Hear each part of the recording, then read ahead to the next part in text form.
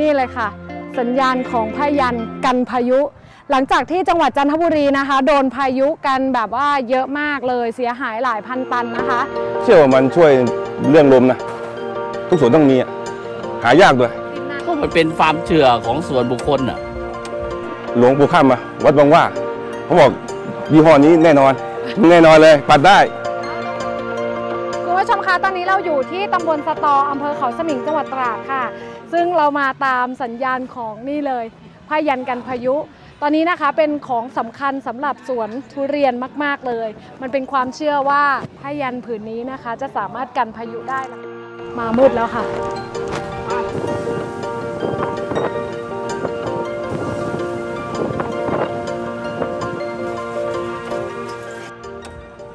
มันเป็นความเชื่อของส่วนบุคคลน่ะ แต่ละคนก็เขาก็ศรัทธากันไปทั่ว เราก็เชื่อตามเข้าไป เป็นแรงจูงใจของชาวสวน หลังที่เราติดแล้วเรามีความรู้สึกว่าไง ก็มีความรู้สึกว่า มันก็เหมือนไม่โดนอะ มันก็เลยดีกว่าไปทำอะไรเลยไงส่วนนี้เคยได้รับโดนพายุเสียหายไหมคะ โดนเยอะเนี่ยทั้งแปลงเนี่ยปลูกใหม่เนี่ยอืม แต่ว่าเห็นว่าวันนี้ตัดแล้ว ตัดแล้ววันนี้ไม่ตัดโดนละกี่หลอดตันคะวานฝนตกมาหลอดแล้วรออืมอืมแล้ววันที่เราเอาขึ้นเราต้องทำไงบ้าง เขาก็ต้องขึ้นเอาเชือกไปมัด แล้วก็มัดไม้ไผ่ขึ้นไปเลย ค่ะ แล้วยังไงต่อเขาก็แค่ห้ามขามห้ามไม้ไผ่อืมขาม เขามีเคล็ดลับไหมคะว่าต้องปักทิศไหนอะไรยังไง ไม่มีอะ แต่ว่าต้องมีบทสวดมนต์ใช่ไหม ก็เชิญเขาขึ้นอะค่ะก็เหมือนเชิญหลวงปู่คำขึ้น อืมก็นะโมครึ่งจบ ค่ะ รวมกันสามทีเป็นสามจบ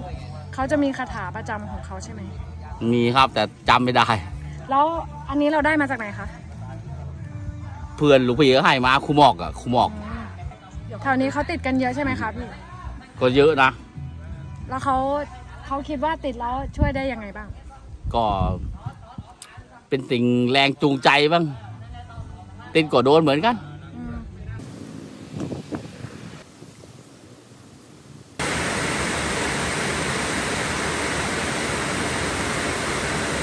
ใช่พยานนี้เป็นที่พึ่งทางใจนะเอ่อเพราะมันโดนทุกโดนทุกปีอยู่แล้วเรื่องเรื่องลมมันนะลมทั้งลมว่าวทั้งลมพายุเดือนเมษามันมาอยู่แล้วเราก็อัญเชิญธงขึ้นเพื่อไอเป็นที่พึ่งทางใจนะ จะโดนไม่โดนก็แล้วแต่บางพื้นที่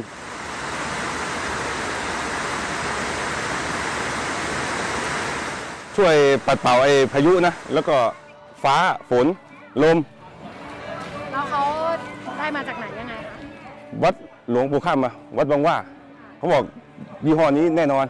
แน่นอนเลย ปัดได้ แล้วแล้วคนอื่นเขาใช้กันไหมใช้ครับทุกชาวสวนมีเกับทุกสวนนะเหรอแล้วเขามีความเชื่อว่าไง เชื่อว่ามันช่วยเรื่องลมนะ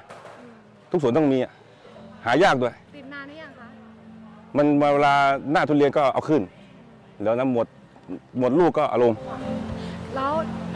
ก่อนหน้านี้เคยโดนพายุไปยังเคยไม่ค่อยเคยโดนนะ โดนเล็กน้อยนิดหน่อย เพราะว่าเรามีพยานอะก็ความเชื่อนะ ไม่รู้เลยนะแล้วเห็นว่าก่อนหน้านี้ส่วนพี่เองก็โดนพายุเหมือนกันโดนกัน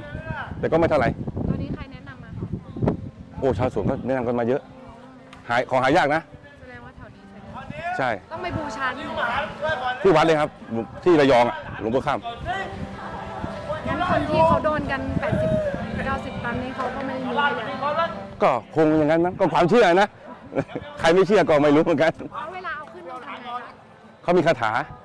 มีคาถาขึ้นอยู่ ต้องสวดทุกวันไม่ต้องครับสวดเฉพาะเวลาขึ้นต้องเอาขึ้นครั้งแรกอย่างนี้ใช่ครั้งแรกอย่างเดียว ทั้งหมดกี่ไร่คะอันนี้ 70พระไร่ครับ เป็นทุเรียนพันธุ์อะไรหมอนทอง หมอนทองแล้วก็มีกระดุมบ้างปีนี้ยังไม่ดูปเลนยปนเนื่องยังไม่ดูเลยครับ คุณผู้ชมคะอาชีพของเกษตรกรนับว่าเป็นอาชีพที่แขวนอยู่บนเส้นได้ค่ะ ซึ่งจะเสี่ยงกับราคาที่ตกต่ำในแต่ละปีแล้วยังต้องเสี่ยงกับลมพายุด้วย จะมีเพียงสิ่งเดียวที่ทำให้เกษตรกรอุ่นใจได้ก็คือการใช้พยันกันพายุ แม้จะเป็นความเชื่อส่วนบุคคลก็ตามค่ะ